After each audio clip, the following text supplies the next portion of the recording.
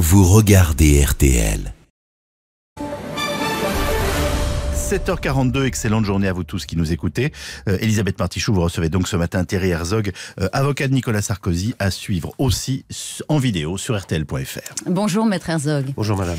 Merci beaucoup d'être ce matin sur RTL. Vous êtes en effet l'avocat de Nicolas Sarkozy. Hier, euh, sur TF1, l'ancien président a dit son indignation, clamé son innocence dans l'affaire libyenne. Il sortait de 48 heures de garde à vue. Comment se fait-il, maître, qu'après plus de 20 heures d'audition devant les enquêteurs, il n'ait pas réussi à les convaincre, à convaincre les juges de ne pas le mettre en examen Vous savez, madame, c'est une affaire euh, dans laquelle euh, euh, il y a eu des informations qui ont été volontairement distillées depuis plusieurs années. Et il est temps maintenant que il soit fait place à la vérité judiciaire plutôt qu'à la vérité médiatique avec des guillemets. J'ai lu ou relu la déclaration spontanée qu'il a tenu à faire lorsque, à l'issue de sa garde à vue, il était présenté au juge d'instruction. Et lorsque je l'écoutais, lorsque à ses côtés, je le voyais dire la vérité, euh, j'étais euh, convaincu que les juges euh, feraient droit à cette demande qui consistait à le placer sous le statut de témoin assisté. Il n'en a rien été. Maître, 26 heures de garde à vue. On a vu hier soir sur TF1 encore l'énergie, la connaissance du dossier par Nicolas Sarkozy. On l'a, on l'a lu, il a maintes et maintes fois imploré presque les juges de ne pas le mettre en examen. Il a perdu ce premier round. Il n'a pas perdu ce premier round. Qu'est-ce qui a failli dans sa défense? Il n'y a rien qui a failli, madame.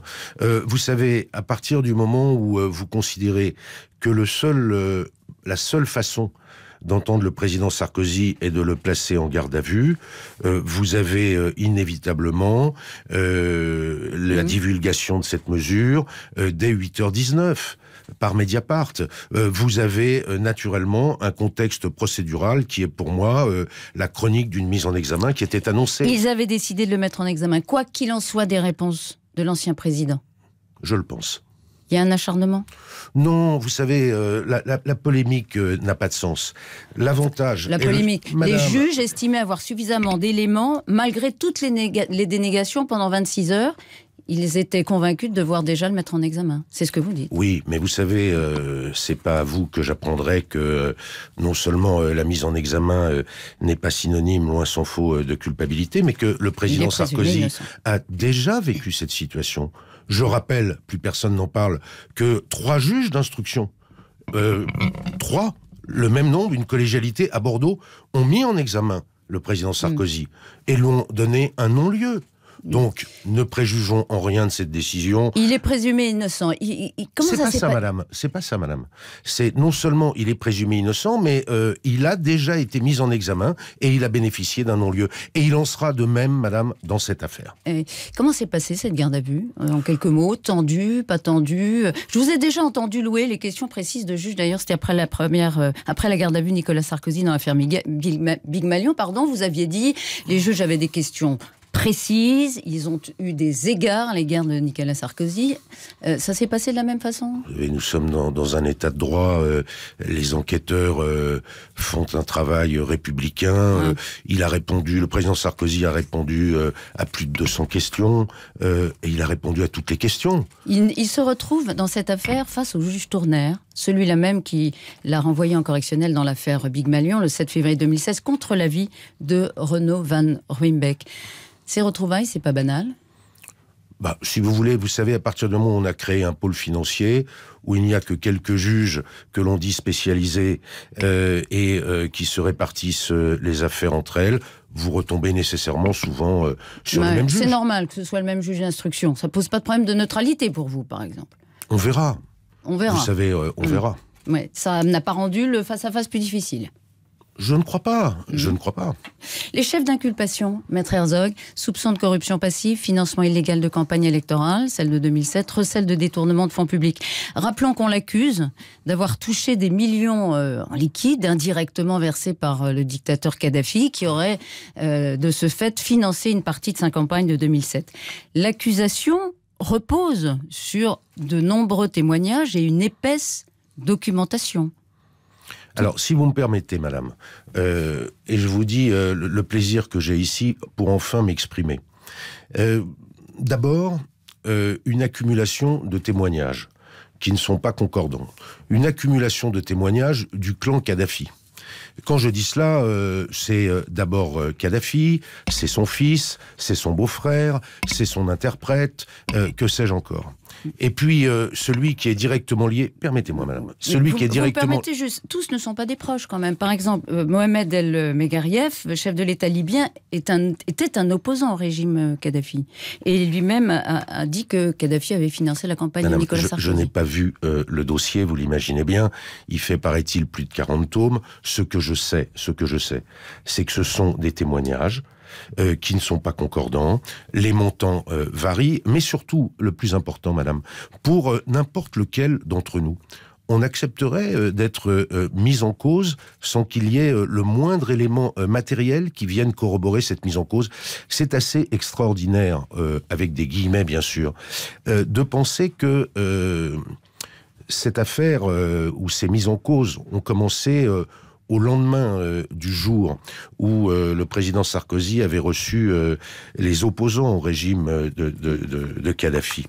Et à partir du 11 mars 2011 et jusqu'au mois d'octobre 2011, pendant sept mois, Kadhafi avait tout loisir de fournir les preuves. Son fils, Saïf, a fait euh, une interview euh, sur euh, Euronews le 16 mars 2011. C'est très important, madame, parce que, voyez-vous, lui, il est toujours vivant. Lui, il va, paraît-il, même se présenter à des élections.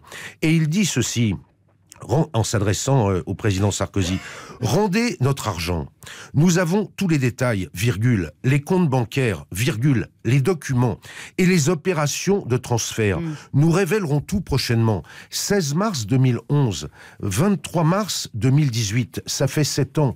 Pas un document, madame. Vous dites, parce que euh, maintenant j'ai accès au dossier, ou j'aurai accès au dossier, et je démontrerai que ce sont des accusations qui sont totalement infondées et qui ne sont étayées d'aucun élément. On peut imaginer, vous dites, et c'est un fait, euh, que les accusations de Kadhafi et de son clan euh, n'ont débuté qu'après le début de l'intervention, ou en tout cas le fait que aussi que Nicolas Sarkozy ait reçu les opposants au régime. mais on peut imaginer que justement, le clan Kadhafi ayant financé, tout ça ce sont des présomptions, hein, ayant financé la campagne de Nicolas Sarkozy, se retourne contre lui une fois que Nicolas Sarkozy euh, lui déclare la guerre. C'est aussi un argument qu'on peut qui, Bien sûr, Madame, Madame, Madame Martichoux. Mais si on dit et si on affirme, nous fournirons les preuves. On les fournit. On les fournit. Cinq ans d'enquête, des dizaines de témoignages, c'est du vent. Mais totalement, madame. C'est même une opération, c'est même une opération, et je le démontrerai, euh, une opération qui est montée de toutes pièces. Alors, je voudrais vous demander, maître, au juge, Nicolas Sarkozy a dit, vous étiez là, dans le bureau, je vous demande, avec toute la force de mon indignation, de retenir des indices, et non pas des indices graves et concordants. Il demande au juge de retenir des indices?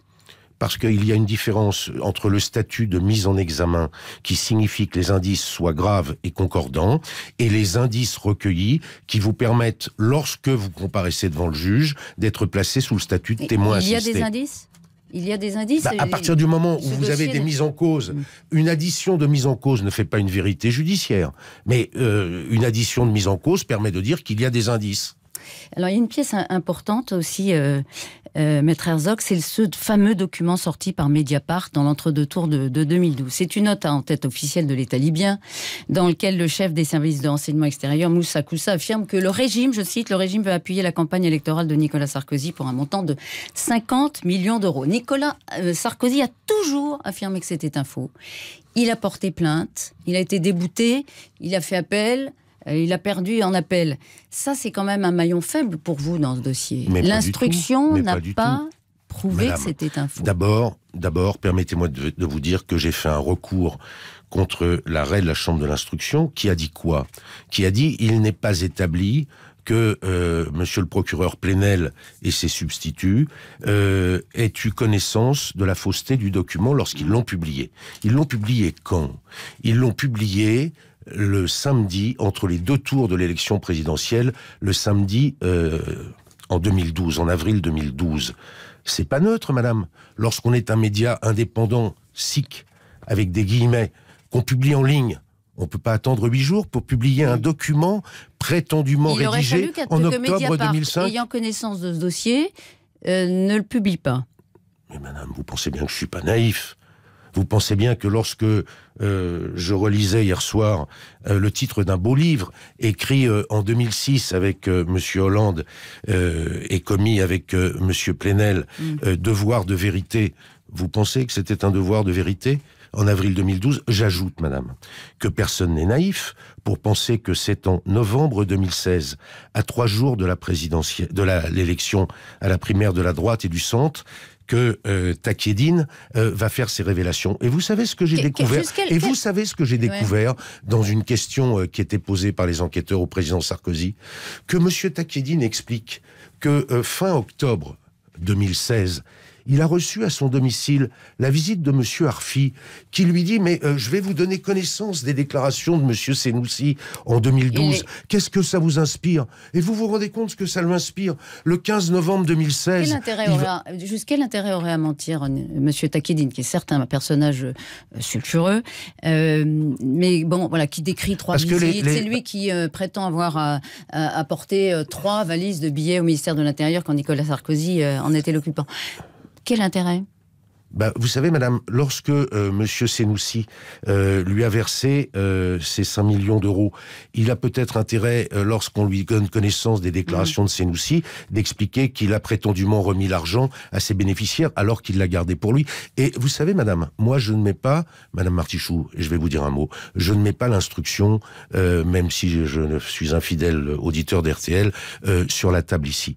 Mais vous verrez dans quelques jours, lorsque je suis sûr que euh, le procureur Plenel et ses substituts euh, prendront connaissance, bien sûr euh, d'une manière euh, totalement régulière, avec des guillemets de la procédure, vous découvrirez qui reçoit des virements sur des comptes offshore de Monsieur Senoussi. Ça n'est pas le président Sarkozy, Monsieur Takedine, madame. Euh, vous, vous dites, euh, Nicolas Sarkozy l'a dit lui-même, je vais prouver mon innocence dans ce dossier. Oui, parce que est nous sommes... innocent, absolument. Si- S'il est innocent, maître Herzog, est-ce qu'il est possible euh, qu'il y ait eu de l'argent en provenance de Libye qui est circulé dans son entourage et qui ait aussi en partie financé la campagne de 2000 Écoutez, un mot sur la campagne de 2007. Un mot. Vous savez quelle est la somme euh, qui a été opposée au président Sarkozy Tout ce que je dis, madame, madame Martichoux, tout ce que je dis sera vérifié. 38 000 euros. On est bien loin des 50 Vous millions. On est bien loin eu- des 5 Ouais. millions. Mm. Et je vais, je vais dans ce dossier faire la démarche inverse. Je vais prouver l'innocence du président Sarkozy.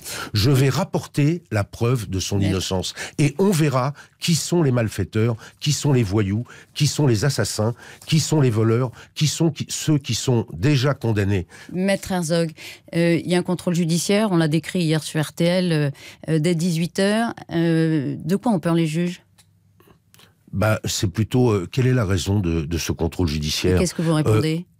Bah que euh, d'une certaine manière, euh, euh, et il l'a dit hier, soir, le président Sarkozy n'a pas l'intention d'entrer en contact avec Takedine. Pour le reste, pour le On reste, cherche à l'humilier? Bien sûr, madame, bien sûr. Mais C'est comme ça qu'il le vit? c'est comme, comme ça que je le vis, Et que lui, je le vis pour lui. lui. Et lui, sans doute, parce qu'il ne s'exprime pas, euh, sans doute aussi. Mais de toute façon, vous savez, madame, il y a en France un double degré de juridiction. On a le droit de faire appel. Je ferai appel de ce contrôle judiciaire et on verra ce que la Chambre de l'instruction de Paris dira. Je viens d'en faire, a dit l'ancien président. Je crois que c'est la vérité. Il est soutenu par euh, sa famille, on imagine. Il a reçu euh, un signe d'Emmanuel Macron ces dernières heures? Je ne sais pas, vous savez, madame, moi, je Mm. suis un homme de dossier, je suis un avocat, je ne fais pas de politique. Il a reçu beaucoup de témoignages? Énormément. Et j'en ai reçu aussi beaucoup. De nombreux de mes confrères qui sont, euh, le mot est faible, scandalisés par le traitement qui lui a été réservé. Maître Il n'est Herzog, pas, il n'est pas au-dessus des lois. Il n'est pas non plus au-dessous des lois. Maître Herzog qui va faire appel du contrôle judiciaire euh, qui a été imposé à Nicolas Sarkozy après 48 heures de garde à vue. Merci d'avoir été ce matin sur RTL. Merci, madame. Il est temps de faire euh, place à la vérité judiciaire, mais c'était bien la chronique d'une mise en examen annoncée, vient de nous dire Thierry Herzog. Il n'y a pourtant toujours aucun élément matériel de preuve dans ce dossier, vient d'affirmer l'avocat de Nicolas Sarkozy, et je vais prouver l'innocence du président Sarkozy. Merci à tous les deux. L'intégralité de l'entretien est à retrouver sur le site rtl.fr. La météo est à suivre sur la première radio de France. RTL Matin, 7h57.